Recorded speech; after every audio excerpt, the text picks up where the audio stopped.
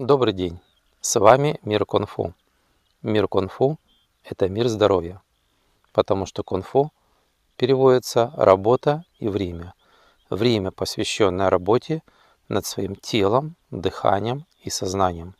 Сегодня у нас урок посвящен концентрации внимания на внутренние органы. Каждый внутренний орган у нас связан с каким-то элементом. Дерево это печень. Печень символизирует стиль леопарда. Легкие – это металл. Они символизируют стиль тигра. Огонь – это сердце, и он символизирует стиль журавля. Почки – это вода, и они символизируют стиль дракона. Селезенка – это земля, символизирующая стиль змеи. Как вы видите, пять органов инь соответствуют пяти стилям животных. Соответственно, мы можем, концентрируя внимание на внутренних органах, представлять этих же животных. Но мы не просто концентрируем внимание на внутренних органах, мы им улыбаемся. То есть, например, Концентрируя внимание на печени, вы представляете леопарда, которого видите в джунглях, и вы ему улыбаетесь. А он, соответственно, улыбается вам. Стиль кунг-фу пяти животных соответствует именно технике подражательных видов. То есть мы двигаемся, подражая стилю тигр, змея, журавль, леопард, дракон, тем самым оздоравливая почки, печень, желудок, сердце. Это очень простое задание – но оно позволяет, концентрируя внимание на внутренних органах, перезагрузить ваше сознание. Это говорит о том, что во время удерживания внимания на внутренних органах ваше тело отдыхает.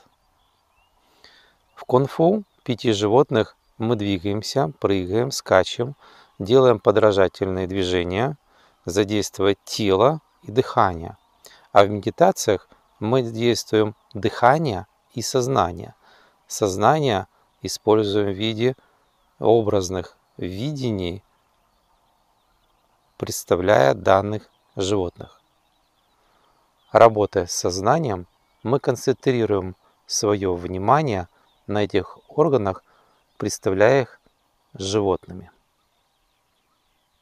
Но самое важное и ключевым моментом, которым является – то, что вы во время этой практики, желательно сидя, можно на стуле, на диване, на любом комфортном месте, концентрируете дополнительно свое внимание на дыхание.